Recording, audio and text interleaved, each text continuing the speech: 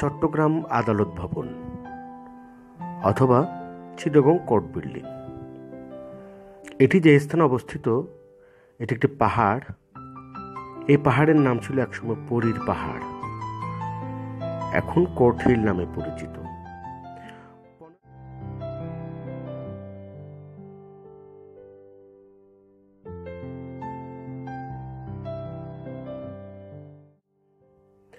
পনেরোশো আটত্রিশ খ্রিস্টাব্দে সুলতান গিয়াসুদ্দিন মাহমুদ শাহের পতনের পর থেকে ষোলোশো ছেষট্টি খ্রিস্টাব্দে মোগল বিজয়ের আগ পর্যন্ত চট্টগ্রাম সহ দক্ষিণ পূর্ববঙ্গের অন্যান্য সমুদ্র উপকূলবর্তী এলাকাসমূহ থেকে মগ ও পর্তুগিজ জলদস্যু কর্তৃক মানুষ চুরির ঘটনা নিত্যনৈমিত্তিক ব্যাপার ছিল।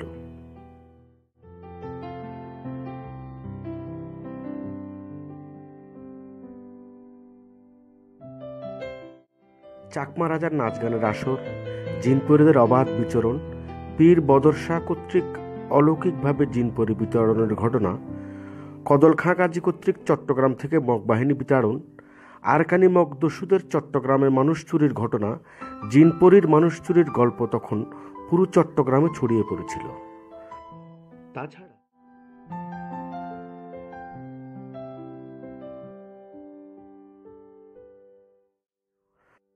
তাছাড়া আজকের এই আধুনিক কঠিল তখনকার সময় ছিল জঙ্গলাকীর্ণ ও দুর্গম। ফলে পর্তুগিজ জলদস্যু এবং আরকানি মগদস্যুদের নিরাপদ আশ্রয় কেন্দ্রে পরিণত হয়। এসব ঘটনা, তার সাথে কিছু সত্য, কিছু মিথ্যা, কিছু উপকথা, কিছু লোকগাথা এবং কল্পকাহিনী যুক্ত হয়ে কোর্ট হিলকে পরীর পাহাড় নামে আখ্যায়িত করা হয়।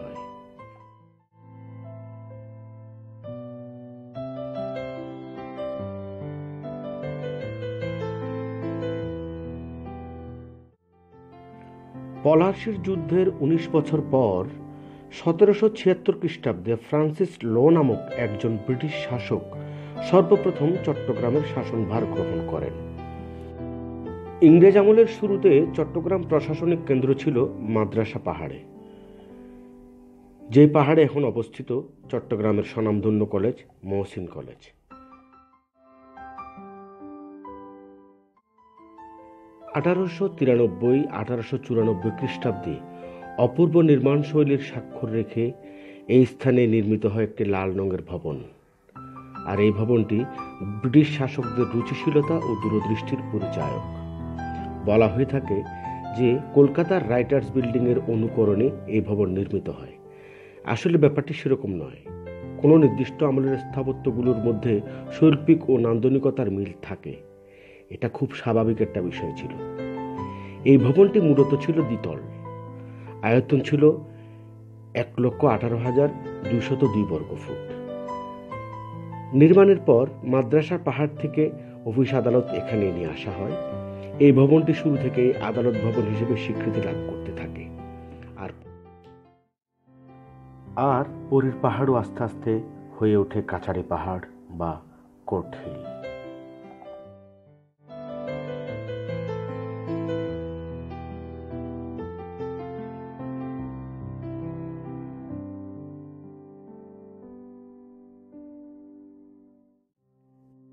পরবর্তীকালে জনসংখ্যা বৃদ্ধির সাথে সাথে শহর দক্ষিণ দিকে সম্প্রসারিত হতে থাকলে ইংরেজ সরকার অফিস আদালতসমূহ স্থানান্তরের প্রয়োজনীয়তা অনুভব করে।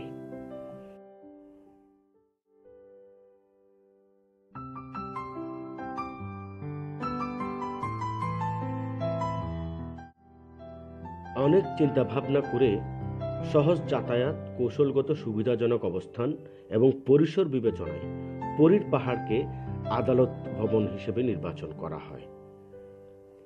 ইংরেজরা পরীর পাহাড়ের নাম পরিবর্তন না করে ইংলিশ অনুবাদে ফেয়ারি হিল বলে অভিহিত করত। ফলে শাসক শ্রেণির বুলি হিসেবে এই পাহাড় ফেয়ারি হিল নামে খ্যাত হয়।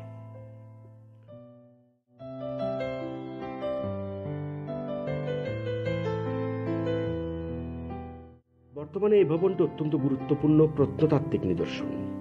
দাপ্তরিক কার্যক্রম বেড়ে যাওয়ায় নতুন নতুন অফিসের জন্য এই ভবনের পরিসর স্বাভাবিকভাবে কিছুটা অপ্রতুল হয়ে পড়ে। সে কারণে পাকিস্তান আমলে উনিশশো তিপ্পান্ন খ্রিস্টাব্দে এই ভবনের উপরে আরও এক তলা নির্মাণ করা হয়। গণপূর্ত অধিদপ্তর সূত্র থেকে জানা যায়, নতুন এই সংযোজন ভবনের কাঠামোগত সৌন্দর্যের হানি করেছে। যুগের তাগিদে এবং মানুষের প্রয়োজনে সরকার দুই লক্ষ ছিয়াত্তর হাজার সাতশত এগারো বর্গ ফুট আয়তন বিশিষ্ট নতুন আদালত ভবন নির্মাণপূর্বক দু হাজার দশ সালে আটই সেপ্টেম্বর প্রধানমন্ত্রী শেখ হাসিনা সেই ভবন উদ্বোধন করেন।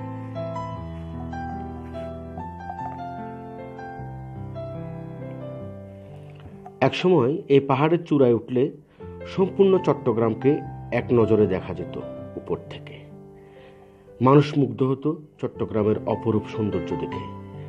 কিন্তু প্রয়োজনের তাগিদে কালের বিবর্তনে নতুন নতুন ভবন তৈরি হওয়ার ফলে মানুষ সরাসরি পাহাড় থেকে চট্টগ্রামকে আর সুন্দরভাবে অবলোকন করতে পারে না।